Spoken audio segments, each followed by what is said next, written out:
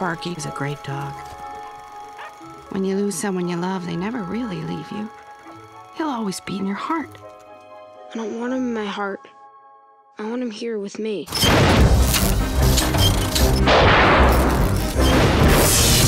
Sparky, you're alive! Sparky. That's right.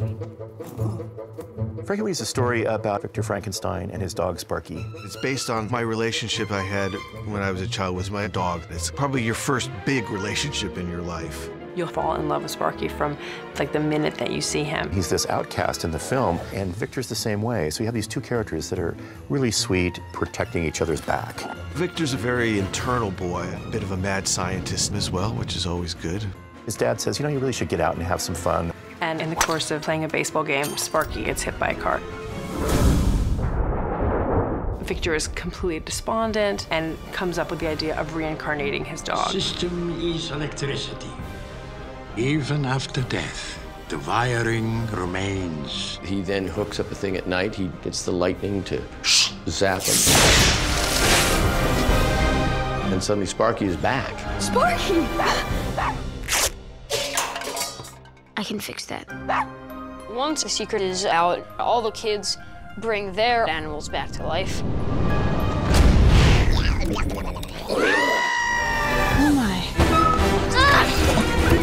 And all of that wreaks wild and fun and crazy havoc on this small little town. I need your help. My problem bigger.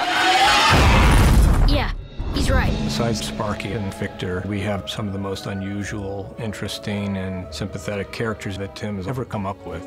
This is such a personal project, so it was nice to kind of work with some people that I'd worked with before. Martin Short is playing actually three characters in the movie. I played Dad, Nassor, and Mr. Burgemeister.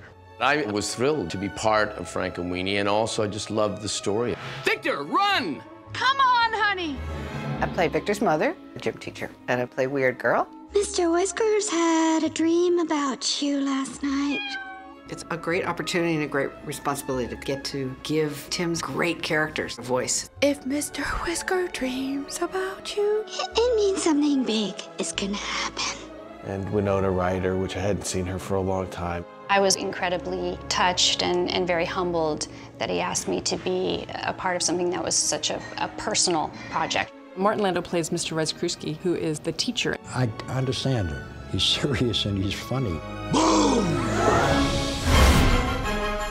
We're animating Frankenweenie in a uh, stop motion style. It's one of the oldest animation styles there is. All of our character designs were like Tim drew the picture and then they went right from his drawing to puppets. The puppets themselves are about a foot tall. They just come alive, and it's absolutely fantastic. Just to see something you've worked on running around on a set, and it just it just becomes a real thing. Frame by frame, they go in and they, they move the puppet and take a picture each frame.